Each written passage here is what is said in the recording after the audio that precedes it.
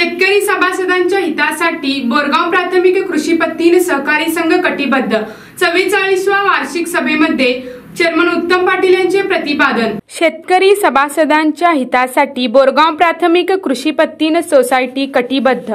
Chairman उत्तम पाटील यांचे प्रतिपादन. चव्वेचाळीसवी वार्षिक सभा संपन्न.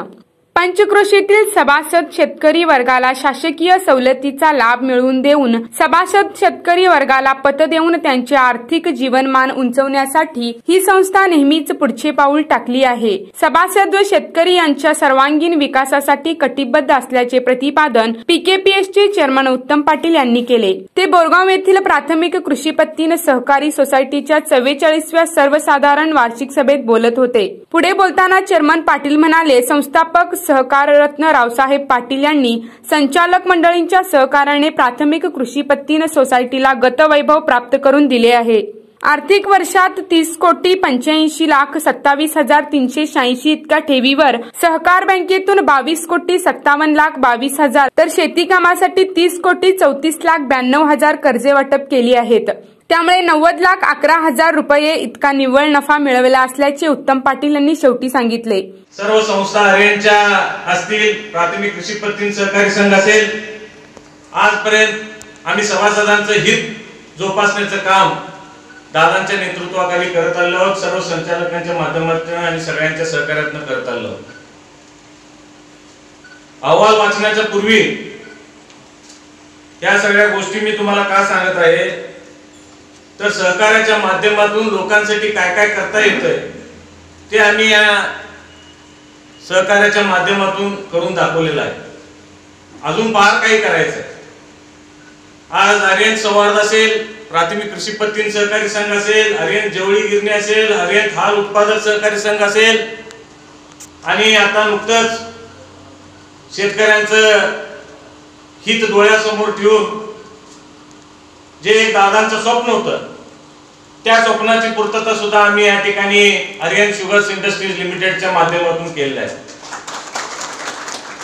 गेल्या वर्षी उच्चांकी दर देण्याचा प्रयत्न कर्नाटक राज्यामध्ये आम्ही केलेला आहे. आणि सर्वप्रथम आमचा कारखाना उच्चांकी दर सगळ्या राज्यामध्ये प्रथम सत्तावीसशे अकरा हे दर देऊन आम्ही शेतकऱ्यांना त्या ठिकाणी हे केलं सांगण्याचा हेतू एवढाच जे काय करता येईल ते मनापासून आम्ही आजपर्यंत या ठिकाणी शेतकऱ्यांसाठी आणि सभासदांसाठी करत आलो. आणि काही सूचना असतील तर आम्ही प्रत्येक वार्षिक सर्वसाधारण सभेमध्ये सांगत आलो. आपली इच्छा जरी काय असेल तर या ठिकाणी व्यक्त करा. आम्ही ते आमच्या हातून होतं की नाही माहीत नाही. परंतु करण्याचा प्रामाणिक प्रयत्न त्या ठिकाणी आम्ही करू. आज आर्यन गार्मेंट्स असून दे सभासदांच्या मागण्यानुसार महिलांना काहीतरी रोजगार उपलब्ध व्हावा. हे डोळ्यासमोर ठेवून आर्यन तू गार्मेंट्सची स्थापना आम्ही त्या ठिकाणी केलो. त्याचबरोबर आर्यन दूध उत्पादक संघ हे वर्धमान हाल उत्पादक संघ म्हणून त्यावेळेला रजिस्टर केलेली सर्वात पहिली संस्था दादाने रजिस्टर केलेली संस्था होती. ती बंद अवस्थेत होती.